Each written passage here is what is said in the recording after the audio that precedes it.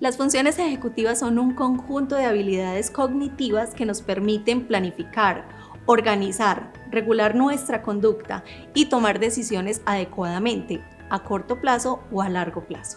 Estas funciones están relacionadas con el control de los impulsos, la atención selectiva, la memoria de trabajo, la flexibilidad mental y el razonamiento abstracto. Tenemos dos invitadas muy expertas en este tema aquí en Tu Salud Guía. No se desconecten porque vamos a aprender mucho de ellas para poder tener un mejor bienestar en nuestros hijos.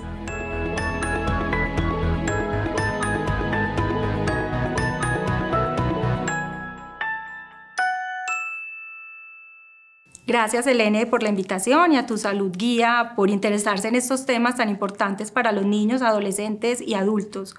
Sí, las funciones ejecutivas son todas esas habilidades que nos permiten en el día a día desempeñarnos y, manejar diferentes tareas. No solo tienen que ver con la parte académica, también tienen que ver con la parte social, con la parte emocional. Y es súper importante que como papás y como profesionales tengamos en cuenta que, las podemos ir estimulando diariamente. Eh, hoy nos acompaña Andrea. Andrea es pedagoga. Andrea, ¿cuáles son para ti esas habilidades, esas funciones ejecutivas más importantes para los niños? Gracias Ana y gracias a tu salud guía por esta invitación.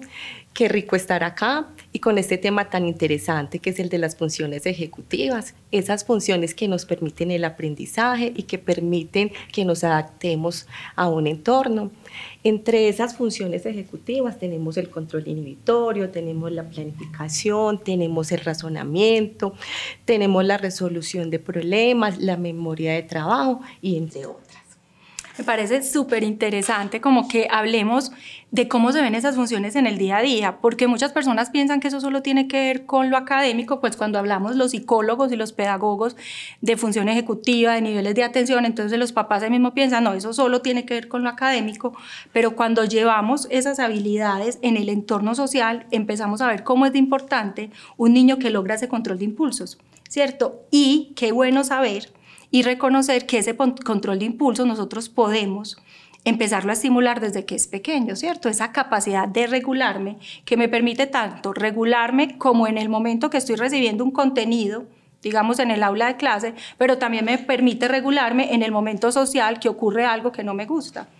¿Qué, qué está ocurriendo en este momento pues como con nuestros jóvenes en el día a día, con nuestros adolescentes y niños? Que esa parte de, de esperar, de postergar, de tolerar la frustración de alguna manera nos cuesta. porque Yo siempre he puesto el ejemplo más clásico para mí, pues cuando yo era chiquita, hace, hace poquito, siempre era muy fácil, si yo quería un helado, digamos, yo tenía que esperar como que mis papás me llevaran al lugar donde vendían los helados, que mis papás tuvieran plata, tuvieran la posibilidad. Entonces, a mí, digamos, el antojo que más me daba era de mimos. Y donde yo vivía, mimos no quedaba cerca. Entonces, yo tenía que esperar el fin de semana para que mis papás me pudieran llevar a comprar mimos. Entonces yo toda la semana postergaba y tenía la capacidad de postergar ese placer y me imaginaba el mimo cómo lo iba a disfrutar hasta que podía llegar. Ahora no, ahora nuestros niños quieren un helado, simplemente con el celular, le dan la aplicación y hasta se enojan porque el de rápido, la persona que les va a llevar el helado no llega rápido. ¿cierto? Es más, ya les damos la posibilidad que si pagan más, les llega más pronto. Entonces yo muchas veces pienso qué está pasando con ellos a nivel de estructuras neurológicas cuando el placer es así inmediato. Obviamente, cuando aprendemos de estas habilidades y de estas funciones ejecutivas y las reconocemos y sabemos que no es solo en la parte académica, sino que es la parte social y, y en la parte emocional, sabemos la importancia de empezar a desarrollar con ellos ciertas estrategias para que puedan como desarrollar estas habilidades. Sí, así es, Paula.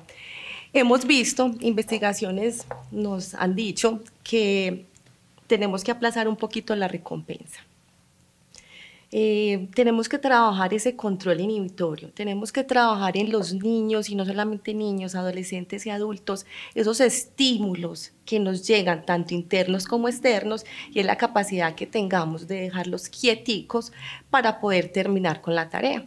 Hay un tema aquí muy importante que es la procrastinación y, y, lo quiero hablar inclusive para las mamás y para los profes. No siempre es pereza, que uno escucha es que el niño es perezoso o es que la persona es muy desatenta o que la persona siempre deja las cosas empezadas. También tiene que ver con un tema de inseguridad, de miedo y baja autoestima.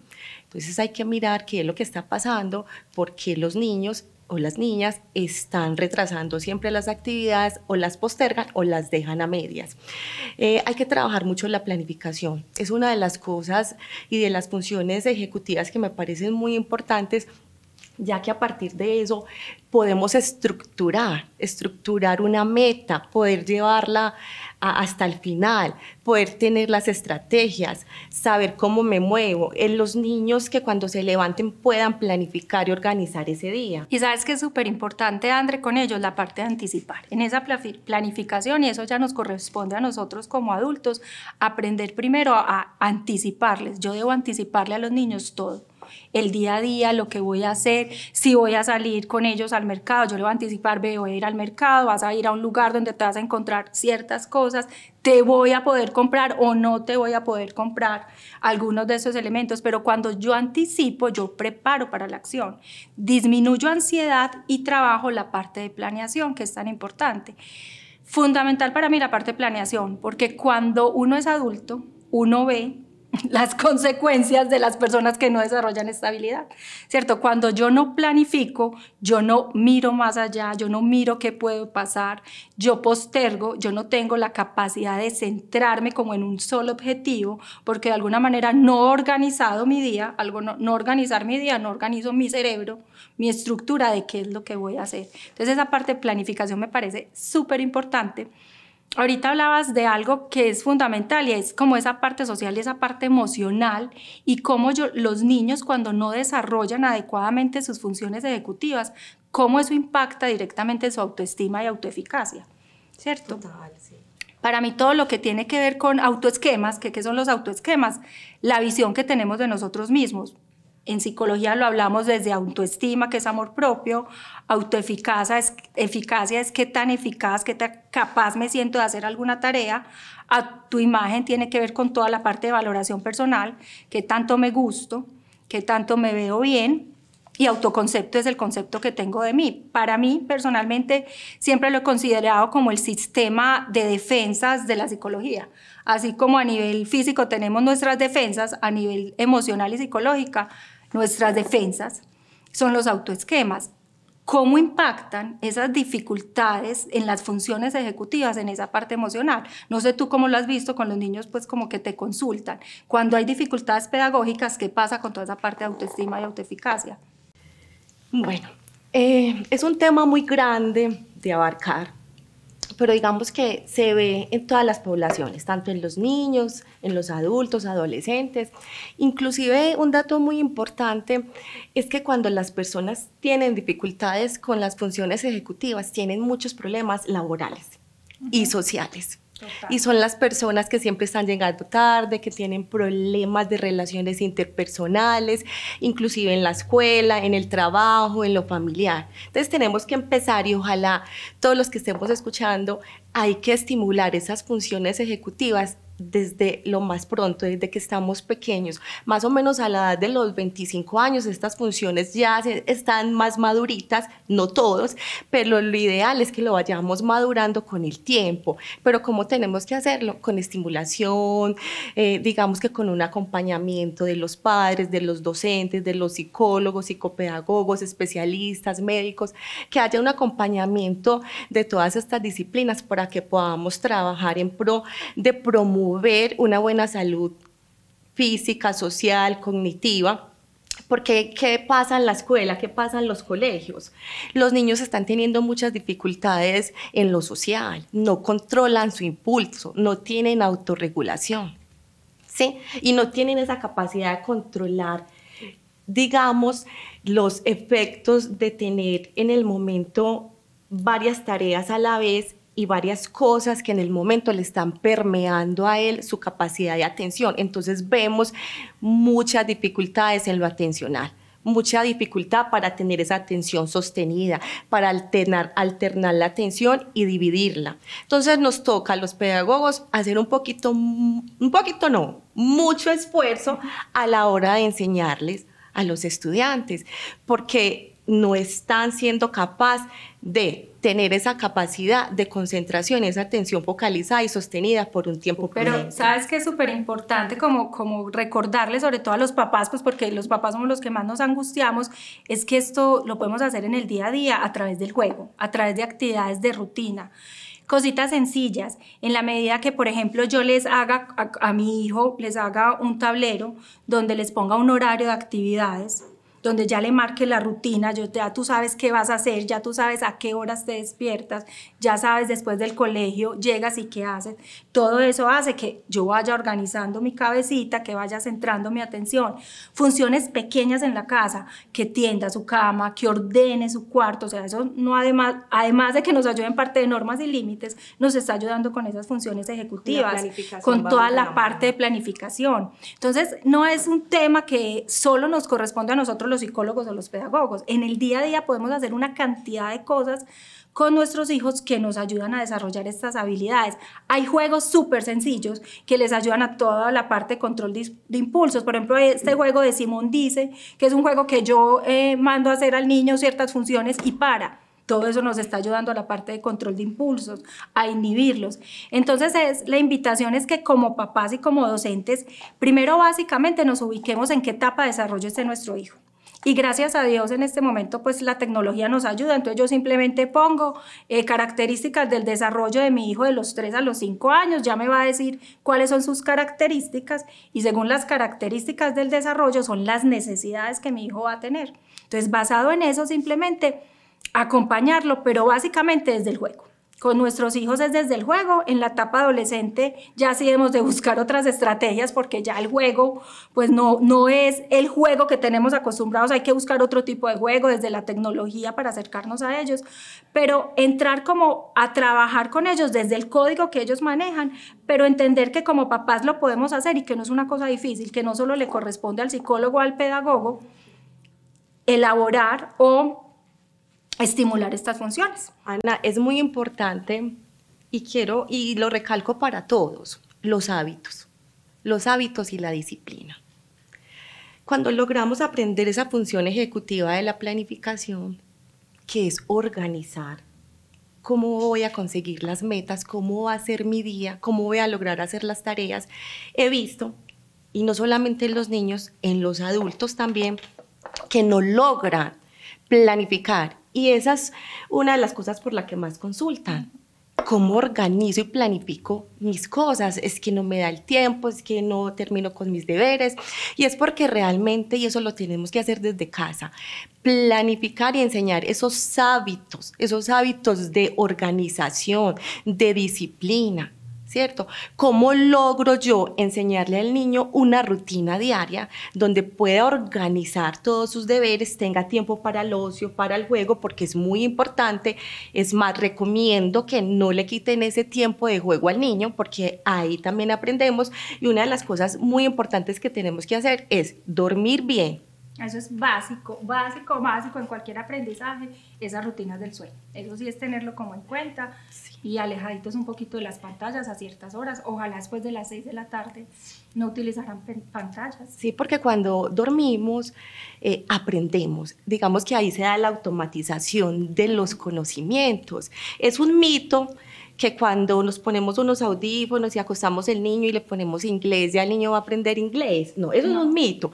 Pero sí el sueño le va a ayudar a recordar esa información cuando la ha estado elaborando durante el día. Entonces el sueño es como un arroyo que va limpiando, va botando las basuritas, pero que va dejando el agüita que va a seguir circulando y que se va a agrupar en ciertos lados la memoria, los recuerdos. Algunos van a quedar en la memoria a largo plazo. Y ahí, como lo que les decía yo, es súper básico que no las necesidades o las horas del sueño son las mismas en cada edad. Entonces, por eso siempre para partir, partamos de conocer el momento en el desarrollo en el que está mi hijo, porque sus necesidades van a ser diferentes y obviamente la manera como yo estimule o cubra esas necesidades también debe ser diferente. Sí, y muy importante también el tema de la alimentación, ¿cierto? Cuando tenemos una buena alimentación, los niños tienen mejores niveles de atención y concentración. Por eso es tan importante que se vayan desayunados para la escuela, para el colegio, inclusive los adultos, para el trabajo, porque cuando dormimos, digamos que el cerebro gasta mucho, mucha agua, mucho oxígeno, entonces necesitamos levantarnos, hidratarnos para poder volver a tener ese nivel atencional, ese sistema de alerta a la hora de aprender tenemos que estar como muy juiciosos con los hábitos. Yo creo que lo más importante es que tengamos en cuenta que si empezamos a formar hábitos en los niños desde muy temprana edad, estas funciones ejecutivas las podemos ir estimulando y haciendo que tengan una mejor evolución en el tiempo. Se esperaría que los hábitos estén formados alrededor de los 8 años, ¿cierto? ¿Cuáles son los hábitos como principales? Son la parte del sueño y que cuando hablamos del sueño hablamos que los niños tengan un horario establecido, eh, pues ya eso es muy discutido, pero preferiblemente, según pues como, como las características y la decisión de la familia, que duerman solos, que duerman en su propio espacio. Eh, hábito en la parte de la alimentación, que coman solitos, que tengan una alimentación variada, que tengan horarios definidos, el hábito de la higiene, o sea, que ellos solitos, toda la parte de autocuidado, y eso se refleja en la parte de autoestima básicamente también. Entonces, la parte de autocuidado, que se bañen solitos, que se cepillen sus dientes y que ya ellos lo sepan, sí que siempre esté la mamá ahí haciéndolo.